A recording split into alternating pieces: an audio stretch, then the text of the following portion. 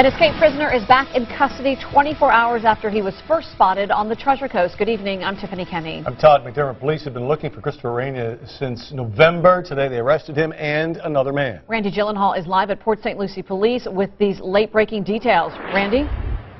Yeah, Todd and Tiffany, we are waiting for the Port St. Lucie Police Department to finish interviewing this suspected fugitive. We expect them to walk him out here into the Sally Port, into that police car there, then sending him off to Rock Road, which is the St. Lucie County Jail. Now, Christopher Reyna, accused of escaping from a Broward County Correctional Facility, was found and arrested late this afternoon. U.S. Marshals caught up with him outside a shopping plaza in Jensen Beach. That's the Treasure Coast Square Mall. He's accused of escaping from the Pompano Transit Center back in November. He was there for charges of burglary and grand theft. I don't know if you guys can take us live right now. They're actually walking him. If you can come back to this live shot.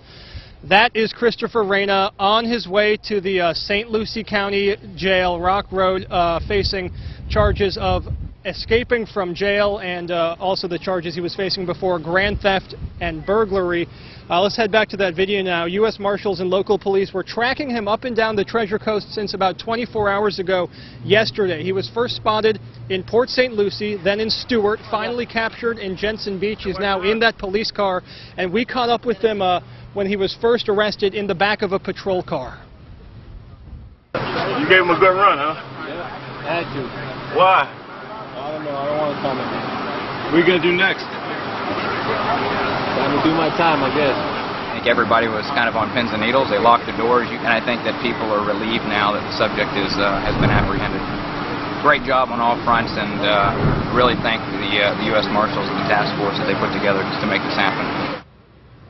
Now, police also arrested another man who was with Christopher Reyna. Police tell us this second guy, Victor Diodato, had a warrant out for his arrest, but it's unclear if he was actively helping Reyna flee from authorities. Back here live, though, let's go back to this police car here from the Port St. Lucie Police Department, taking that suspected fugitive who escaped back in November back to jail over at the St. Lucie County Jail. There he goes. Uh, we're going to keep following that for you and hopefully talk with uh, police sources to see what exactly new charges he's going to be facing. But again, Christopher Reyna, that fugitive, is now in custody. You just saw him on his way to jail once again. We're live in Port St. Lucie. Randy Gyllenhaal, WPBF 25 News.